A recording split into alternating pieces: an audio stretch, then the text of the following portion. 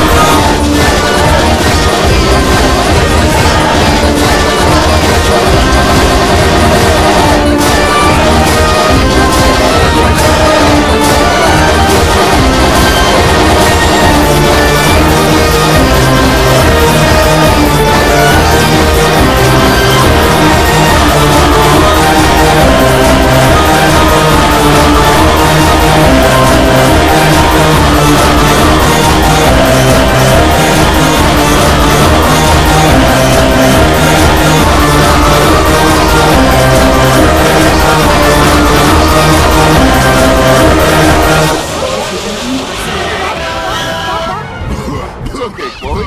We're gonna be okay now, anyways. Thanks for trying to look out for us. Iceberg went by for and lost a little weight. I'd say just grab some juice for them on the way back. On second thought, maybe you should call your parents.